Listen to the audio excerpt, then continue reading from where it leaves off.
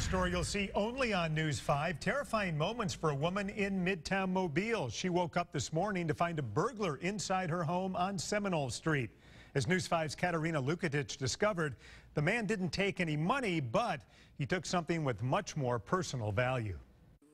Cynthia Cawthon locked the doors and went to bed just like she does every night. So imagine her surprise when she woke up to the noise of her bedroom doorknob turning and watching as a man walked toward her. I just screamed, who is it, to the top of my lungs and scared him to death. The man then ran out the front door. There's no telling how long he had been in my house. Cawthon believes the man took the burglar bars off her back window and came in that way. You can snap those a certain way and pull them out. And while he didn't take any money, he took something Cawthon says is far more valuable. Family heirlooms, including her grandmother's wedding band. She had them laid on a table to clean them. I know the odds are slim to you know, retain my grandmother's property. But she's hopeful they'll turn up and that police will find the man who broke into her home.